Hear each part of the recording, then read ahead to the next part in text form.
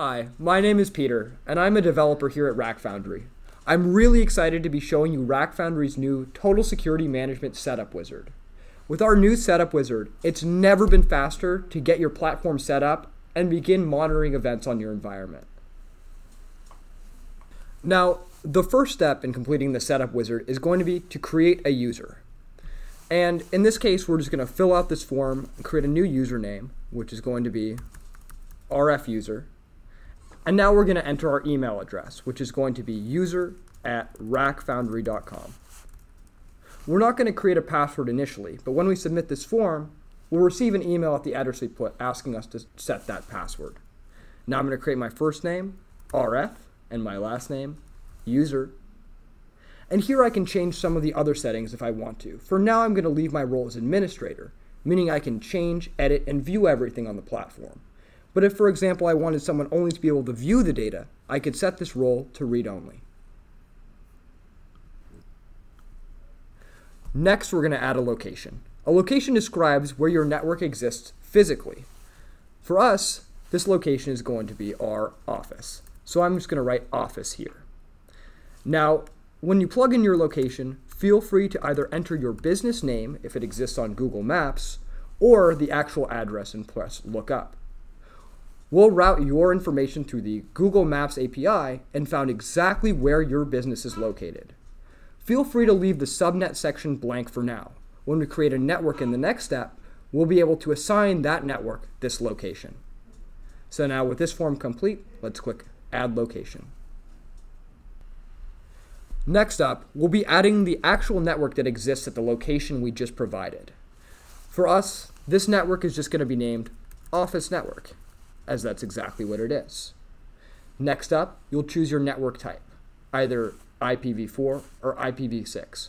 For us, we're going with the version 4 option, and we're going to fill in our network's IP address under the definition section. For us, that's just 192.168.66.1, or whatever your network address is. Don't forget to choose the correct subnet mask. For most networks, this will be 255.255.255.0. You can see that location has already been pre-filled as office, and that's exactly what we want. Now that we've created our network, it's time to schedule an asset scan and have your TSM platform automatically detect all devices that are connected to that network. We're first going to add a quick description. For us, it's going to be first asset scan, since it's the first one that we're doing. When it says choose appliance, choose whatever you've named your TSM platform when you initially set it up. For us, that was TSM, but choose whatever you selected. For target, choose the network we just created. Ours was Office Network, but again, choose whatever network that you just created in the previous step. Feel free to leave start date blank. That'll allow this asset scan to start immediately. With our form fully filled out, we can go ahead and select Schedule Scan.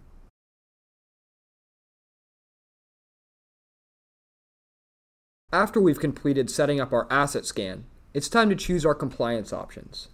If your business has a specific compliance that it needs to meet, select that compliance from the list below and click Save to enable TSM to start tailoring its behavior towards meeting that compliance.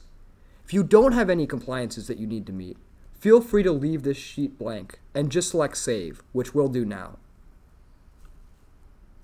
Finally, it's time for our last step, scheduling a network scan, which will detect and help us remedy any network vulnerabilities that it finds.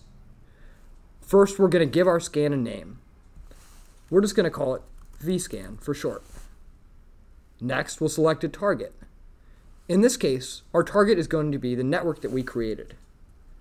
Ours was called Office Network, but select whatever network you created in the network step. Finally, it's time to choose a type. I'm not going to go over the type options in detail here, but if you want to know more about the vulnerability scanner and what you can do with it, feel free to check out our videos at youtube.com slash rackfoundry.